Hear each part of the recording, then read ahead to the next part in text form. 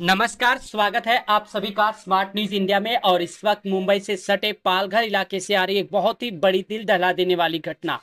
जहाँ पर एक बस को रिपेयर करते वक्त मैकेनिक बस के नीचे जाता है, उसका जैक खोलता है और तभी एक दुर्घटना बस पूरी की पूरी बस उसके ऊपर गिर पड़ती है। बता दे, इस घटना में अवधेश कनौजिया बत्तीस साल का, जो पालघर में एक मैकेनिक है, जो बस को रिपेयर करने का काम करता है, उसकी मृत्यु हो गई। बता दे, उसे जैसे ही वो इंजर्ड हुआ, उसे तुरंत ही अस्पताल ले जाया गया, जिसका नाम है नवनीत हॉस्पिटल, दहीसर ईस्ट में, लेकिन वहाँ पर तुरंत ही डॉक्टरों ने उसे मृत घोषित कर दिया। बता दें, इस घटना के बाद ट्रेवल एजेंसी के खिलाफ जो उसका ऑनर है, उसके खिलाफ मामला दर्ज किया गया है। बता दें, इस प्रकार की घटनाएँ कहीं ना कहीं झकझोर कर रख देती है कि आखिरकार क्यों नहीं सेफ्टी मेज़रमेंट को ध्यान में रखा जाता है, क्योंकि गरीब मजदूर जो लोग हैं, उन्हें इस प्रकार से जिया प्रताड़ित किया जा रहा है, क्योंकि मजदूरों के जो काम करते हैं, उन्हें पूरी तरह से सेफ्टी की जो है सुरक्षा जो दी जानी चाहिए, वो नहीं दी जाती, जिसकी वजह से ऐसी दुर्घटनाएँ घटती है। अगर यहाँ पर बस का जो ऑनर था, यानी ट्रेवल एजेंसी का जो ऑनर था, अगर वो सही सुरक्षा देता तो शायद ये मजदूर आज ज़िंदा होता। आज के लिए इतना ही, चैनल पर नया है तो अपनी राय ज़रूर दीजिएगा कमेंट सेक्शन में।